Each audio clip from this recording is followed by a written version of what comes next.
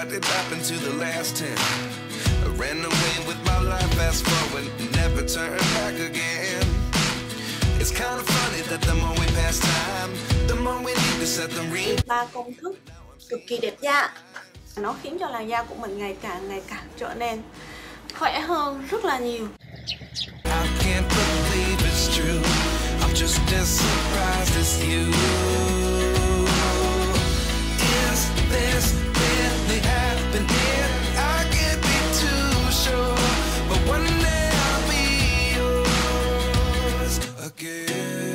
Xin chào các bạn, ngày hôm nay là ngày Chủ nhật và hiện tại mình đang sống tại Hokkaido, Nhật Bản. Nơi này đón mùa đông sớm nhất Nhật Bản. Và hôm nay mình sẽ bắt tay vào làm ba công thức món ăn kèm kiểu Nhật. Có thể nói đây là một trong các công thức món ăn giúp sống lâu và khỏe mạnh của người Nhật. Tuyết thì cũng động đến tận ban công rồi. Vào mùa đông và chỉ cần tắt lò sưởi là da của mình bị nhăn lại, mạch máu thì bị tím lại, da thì đen thui. Mùa này thì da mình rất là dễ bị nổi mụn do da khô, mất nước, da mình rất mất ổn định vào cái mùa đông này. Ba công thức món ăn này giúp cho làn da của mình được cải thiện rất nhiều ba món ăn này sẽ làm một lần và ăn được trong 2 tuần giúp cho làn da được càng ngày càng khỏe mạnh từ bên trong. Và không chỉ vậy sức khỏe và sức đề kháng cũng sẽ được nâng cao lên. Mình sẽ gọi là ba công thức chống lão hóa từ bên trong của mình. Ngoài ra, mình sẽ chia sẻ thêm một công thức nước uống vào buổi sáng giúp nạp năng lượng cho một ngày và khiến cho làn da ngày càng được mềm mại hơn. Và hãy bắt đầu cùng với mình thôi. Món ăn kèm đầu tiên thì nguyên liệu bao gồm rất là đơn giản, hành tây, giấm, mật ong và một chút muối. Và đây là công thức hành tây ngâm giấm kiểu Nhật, không sử dụng đường để tốt cho sức khỏe và rất là đẹp da. Nguyên liệu thì quen thuộc, cách làm thì sẽ khác so với kiểu thông thường. Nhờ đó mà hiệu quả mang lại cho cơ thể cũng sẽ rất là đáng kể. Hành tây ngâm giống có nhiều tác dụng rất là vượt trội cho cơ thể. Đầu tiên, đó là chống lão hóa. Trong hành tây thì có chứa polyphenol và ăn mỗi ngày sẽ giúp cho da được săn chắc.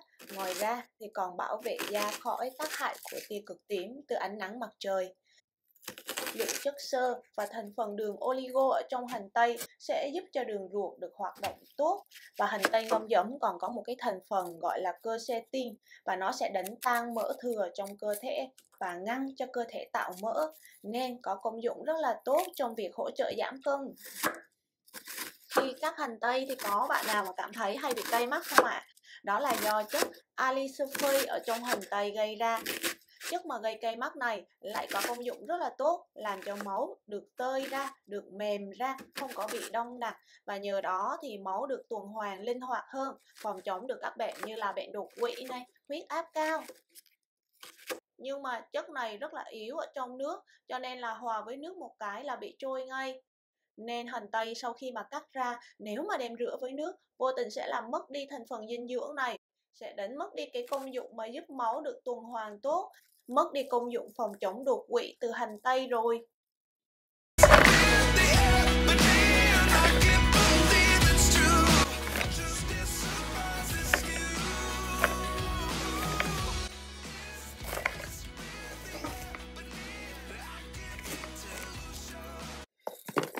Sau khi mà hành tây bỏ vào tủ lạnh 2 tiếng đồng hồ, mình sẽ lấy ra rồi bỏ vào hộp bảo quản.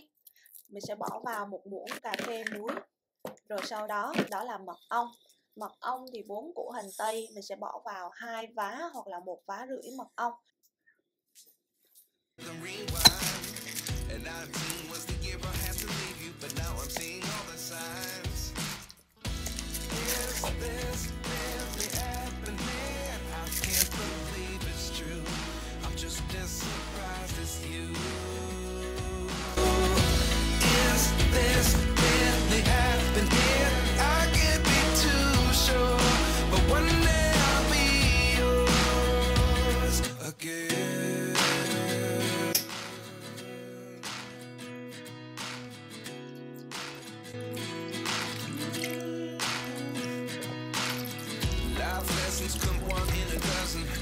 Another 11 get something from nothing. I sit here looking for an answer. Maybe the biggest question was in the last chapter. You gave me the soul I have today.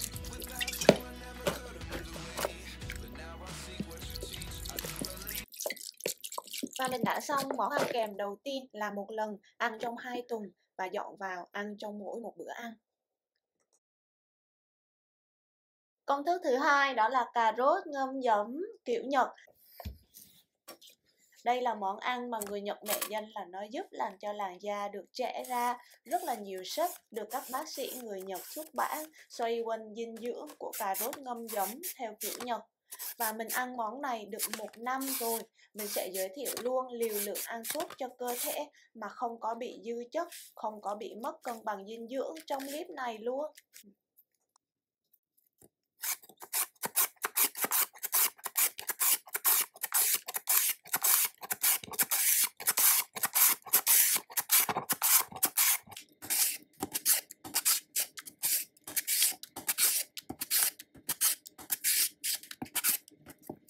Cà rốt sẽ đứng hàng đầu trong các loại rau chứa beta-carotene và khi hấp thụ vào cơ thể sẽ chuyển hóa thành vitamin A khiến cho da được sáng lên, trắng da, giảm vết thâm nám và tàn nhang.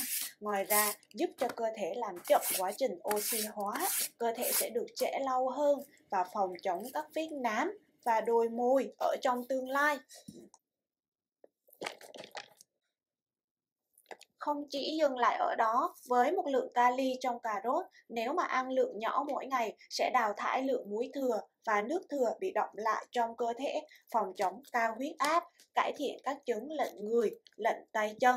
Và khi cà rốt được kết hợp với giấm sẽ nâng cao chức năng thải độc của gan, nhờ đó hệ miễn dịch và sức khỏe của chúng ta cũng sẽ được tốt lên mỗi ngày cà rốt sau khi mà thái xong thì sẽ không rửa nữa. Bạn có thể bỏ một muỗng muối nhỏ vào rồi trộn đều và nghiêng cái thau đựng cà rốt lại. Sau 30 phút, nước thừa nó sẽ chảy ra và mình chỉ cần chắc một chút nước thừa đó ra là được. Bạn đừng vắt khô cà rốt nhé.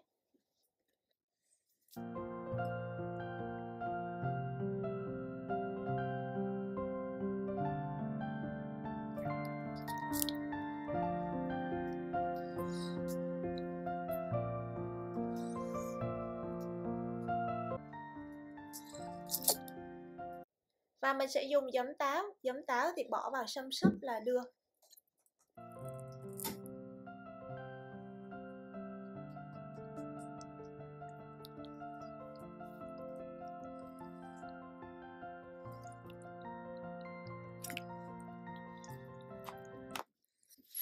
Là sản sư tại đi này quá. Sư tại đi này quá. Bởi vì là thiếu giống cho nên mình phải chạy vội ra đi siêu thị để đi mua thêm 少し修材するんで ừ. và cuối cùng mình đã hoàn thành xong thực đơn thứ hai cà rốt ngâm giấm cực kỳ đẹp da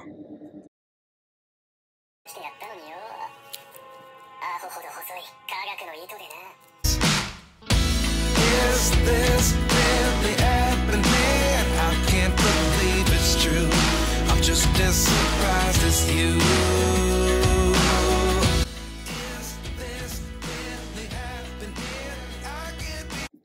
Ăn kèm thứ ba làm vào ngày cuối tuần của mình đó là đậu đỏ.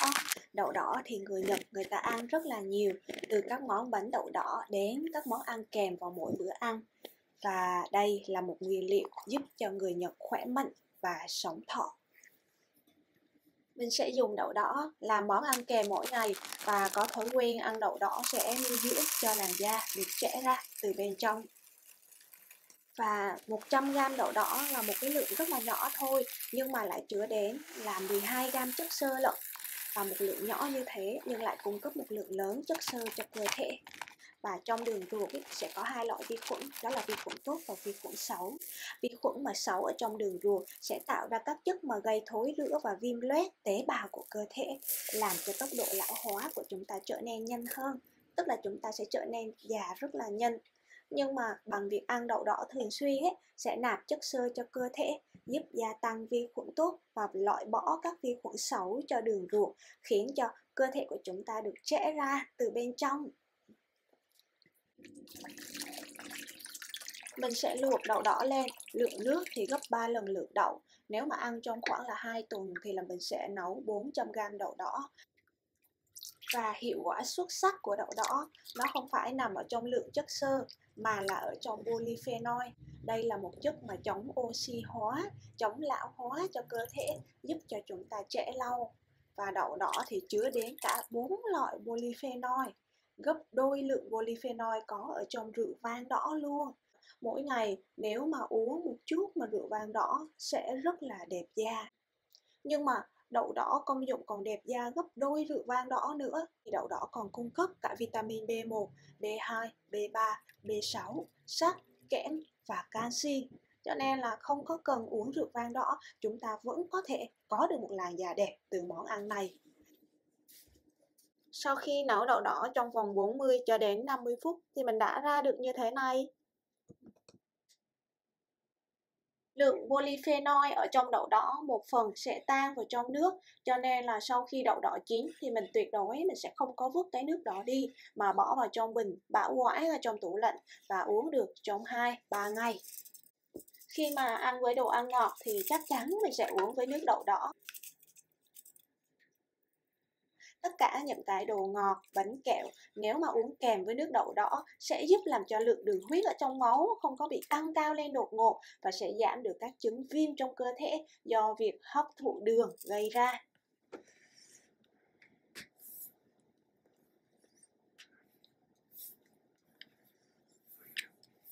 Ngoài ra thì đậu đỏ có thể dùng làm với các công thức kết hợp khác như là đậu đỏ sẽ rưới với dầu ô liu và một chút muối. Đây là công thức đẹp da và giảm viêm cho cơ thể.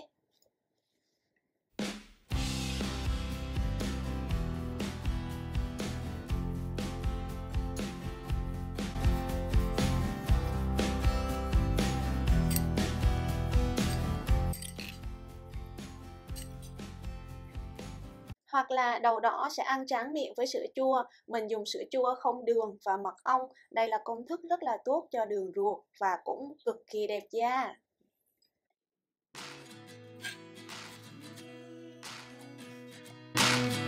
Life lessons come one in a dozen. The other eleven get something from nothing. I sit here looking for an answer. Maybe the biggest question was in the last chapter. You gave me the soul I have today. Without you I never could have moved away But now I see what you teach I do believe I always should have stayed yeah. Is this really happening? I can't believe it's true I'm just surprised làm thức uống vào buổi sáng để kích hoạt cho não hoạt động tốt, bắt đầu một ngày mới tràn đầy năng lượng. Đó là một quả chuối, 150ml sữa đậu nành, mật ong và bột cacao. Mật ong và bột cacao thì mình có thể thay thế bằng sô-cô-la, có hàm lượng cacao trên 70%. Ngày hôm nay thì mình không có dùng mật ong và bột cacao cho nên là mình dùng sô-cô-la. Và ngoài ra thì mình sẽ cho thêm bột quế vào để giúp tuần hoàn máu tốt